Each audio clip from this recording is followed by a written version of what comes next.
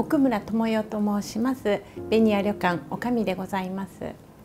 ー、ベニヤのテーマは、えー、テリトーリオ。この自分たちの周りの、えー、地域であったりいろいろな方の営みそのものの中にベニヤが存在するっていう我々のお仕事も地域の方やそのテリトリオの中でえー、作り上げられて助けられているっていうそういう意味を持っております。今回新しくなったベニヤの一番の見せどころはやっぱり見える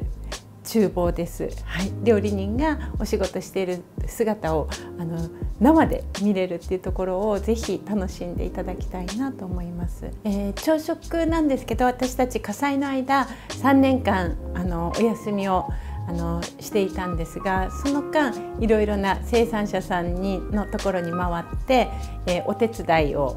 えー、お手伝いではなかったと思います。きっとあのかなりあの邪魔になった部分もあると思うんですが皆さん本当にあの快く私たちを受け入れてくれてそしてお米を作ったりお芋を作ったり、えー、牛の、えー、お乳搾りのそういうお掃除をしたりとかして、えー、なんか本当に生産者さん皆さんが、あのこう心を込めてこんなに素晴らしいことをしているんだっていうのを改めて分かってそれをそのままま食卓に出したらきっと、えー、お客様は喜ぶに違いないっていうのを確信しました。そしてお米もこんなに丁寧に作っているお米をやはりお部屋で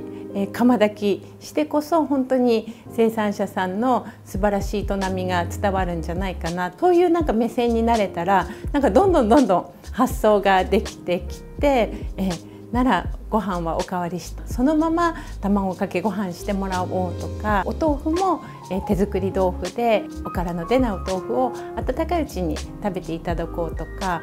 本当に生産者さんのエネルギーをあの直接感じることができたので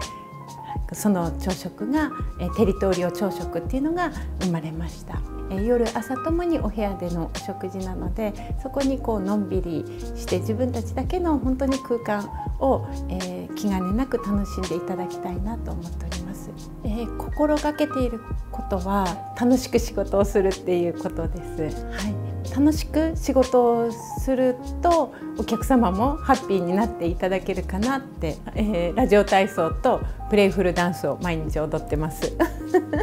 お昼に、はい、いろんなところで本当に心を痛む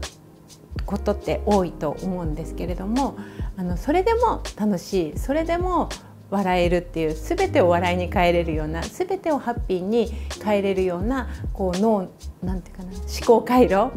をあの、え、社員みんなで心がけています。海外の方の方が本当に日本のことをあの大好きで、えー、よく知っていらっしゃるので反対に教えてほしいですね